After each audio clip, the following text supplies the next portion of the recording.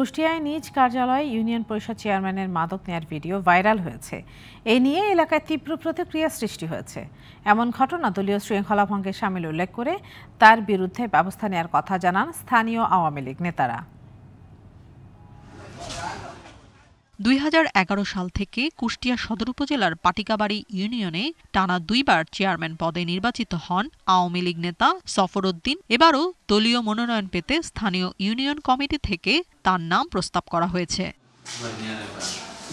তবে কয়েকদিন আগে ইউনিয়ন পরিষদ কার্যালয়ে বসে চেয়ারম্যান সফরউদ্দিনের মাদক সেবনের ভিডিও সামাজিক যোগাযোগ মাধ্যমে ছড়িয়ে পড়ে।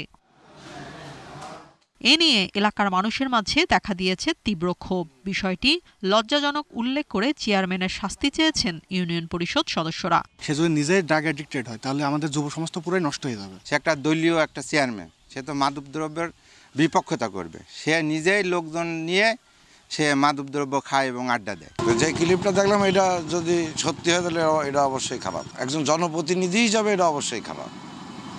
এটা আমি নিন্দা জানাই। ইউপি চেয়ারম্যানের মাদক সেবনের অভিযোগ গুরুতর। এ বিষয়ে দল ব্যবস্থা নেবে বলে জানান আওয়ামী লীগ নেতারা।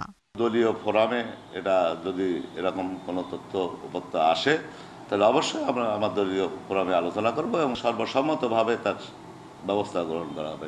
অফিসে বসে খাবে এরকম আমরা এটা কোনো অবস্থাতে গ্রহণ করতে পারি না। অবশ্যই এটা ব্যবস্থা নেওয়া উচিত। এদিকে মাদক সেবনের অভিযোগ অস্বীকার করেছেন চেয়ারম্যান। তার দাবি এডিট করা ভিডিওটি কারা বানিয়েছে তা জানেন না তিনি। কীভাবে বানাইছে এটা আমার জানা নাই। আমার কিছু দেখি নাই আমার শুনছি আমাকেও কয়েকজন ফোন করছে।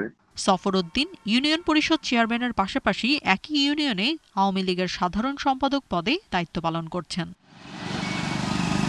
DBC news desk.